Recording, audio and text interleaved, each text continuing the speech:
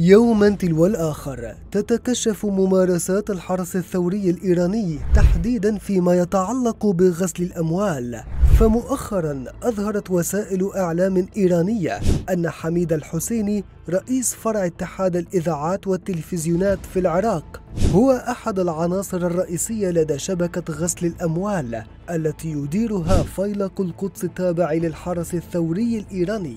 وبحسب إيران انترناشنال تمكن حميد الحسيني الصديق المقرب من قاسم سليمان المقتول من الحصول على حق إذاعة مباريات كرة القدم في العراق لبث دعاية الحشد الشعبي الإعلامية والترويج لأفكار المرشد الإيراني علي خامنئي.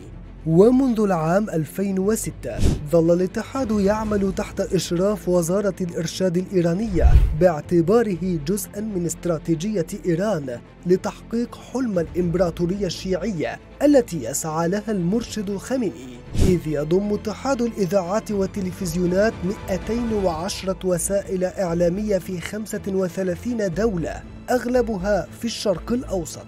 وضع حميد الحسيني بقائمة اتهام كهذه ليس بجديد.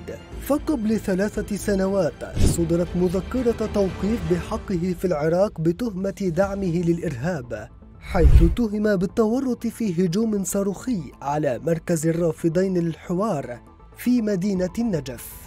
وكانت الحكومة الأمريكية قد فرضت في عام 2020 عقوبات على عدد من الشركات التي كانت تعمل لصالح الحرس الثوري الإيراني تحت ستار تقديم الخدمات لزوار الأماكن المقدسة في العراق.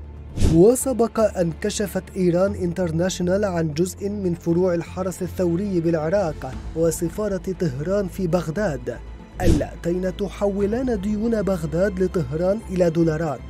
وبدلا من إيداعها في حساب الخزانة العامة تذهب في جيوب عناصر الحرس الثوري والميليشيات المدعومة من إيران في العراق.